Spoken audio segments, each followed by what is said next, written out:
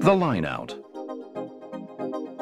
The purpose of the line out is to restart play quickly, safely and fairly after the ball has gone into touch using a throw-in between two lines of players.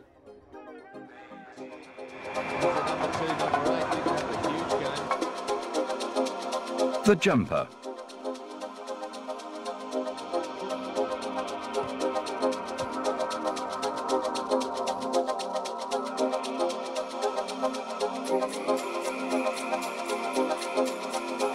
The jumper has to move dynamically into a position from which he can easily be supported. He has to keep his chest and hands up and bend his knees and explode upwards from a two-footed takeoff. While in the air, the jumper has to maintain a long body shape to ensure that both you and support players can maintain control and sight the ball through the hands as he extends arms to catch.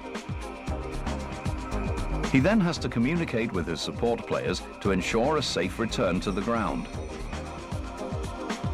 and make a two-footed landing, bending at the knees.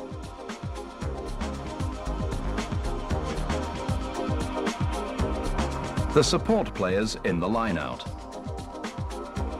Support players move with the jumper into space.